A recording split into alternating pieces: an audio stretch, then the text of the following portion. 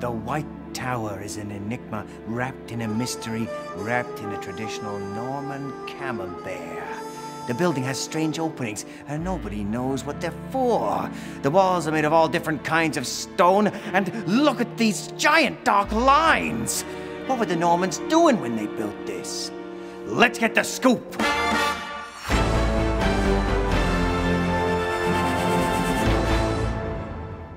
Is it the six o'clock news? Is it an ice cream? No, it's Scooper Woman. I want to know how the White Tower changed as it was being built by the Normans. So, like an importer of prize fruit from the Middle East, let's look back at our big dates. We've got 1066. William absolutely nails the Battle of Hastings and gets crowned king. At the other end, we've got 1100. Like a refurbished academy school, the White Tower was finished enough to take in its first ever prisoner. But what happened in between? Our archaeologist has been doing some digging, not literally. Thanks, Jez.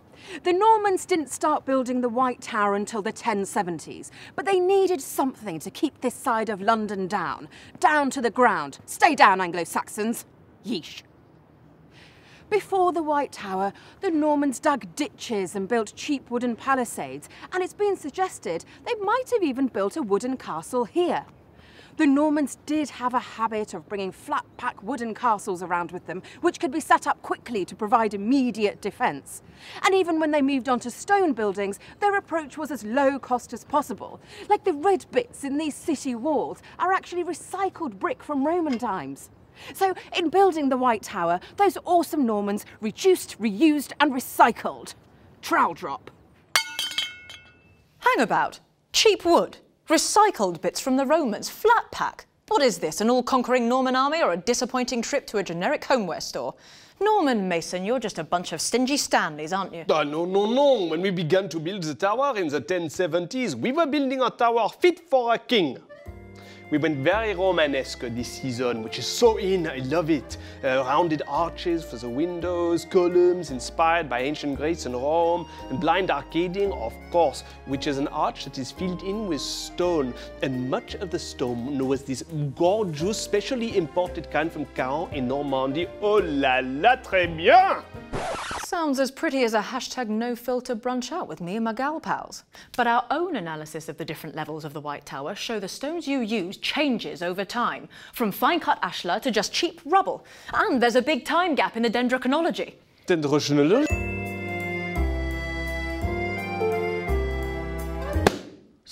Avoiding my question. Why do your building materials change more often than a nervous teen getting ready for the party at Cool Jennifer's house? Zut alors, I admit it, there is a short break in the building of the White Tower. You heard it here first. The White Tower was not built continuously. Instead, there was a break beginning in 1083 at the latest, and building doesn't start again until the 1090s. Why? Was William too busy? Fighting in England, fighting in France, building other castles, running out of money? For now, we aren't sure. Back to our detective, Franklin D. Tective, who's detected some devilishly distracting details. Frank. I know where you live! Don't make me play bad cop with you guys, okay? Frank, stop talking to the wall for goodness sake. No worries, Jez. I've got this. Saved by the spade. Mindiana, give me some salty fact, you mud-loving miracle. These markings on the wall are soot, the dark carbonized substance left by smoke. They show a roof that used to be here. The smoke from the fires would drift upwards, collecting on the underside, leaving the roof shape visible. Wait a second. There used to be a roof in here down that low?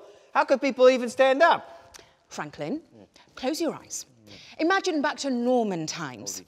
The floor you're standing on doesn't exist. Oh yeah! I mean, it didn't exist until centuries later. Oh. So this is the roof of the room below. It was an incredibly high ceiling, meaning that from the outside, the building looked like it had more floors than it really did. I knew those Normans were up to something. Blam, blam, blam! Those are mysteries of the White Tower getting shot out the water. But here's a query lodged in my head like a botched ear piercing. What about those holes in the wall from earlier? Heard about these? They're pretty niche. I mean, they literally are called niches, so it's not even a joke, really. Maybe they were used for kindling wood, salt for the fire, or to keep something warm and dry. We aren't totally sure. Then why are we looking at them, Lucian? Because they're something real people used when they're living at the White Tower. Talking of which, I knew you wouldn't disappoint. Drop me some beautiful truths, Dursley. it's a toilet! Or garderobe, as the Normans called it. Why are we looking at a toilet? Well, there are several garderobes over there on the north side of the tower, so why is there an extra one here on the eastern side?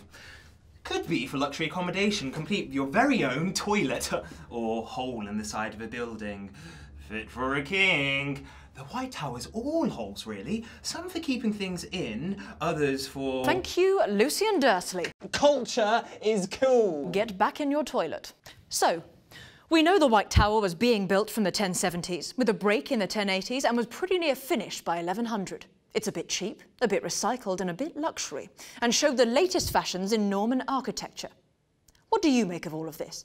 Which do you think were the most important developments in the building of the White Tower? Thanks for watching The Scoop, turning the ugly duckling of the past into a swan of truth. Apart from Frank, who'll always be an overgrown beard with legs. Hey!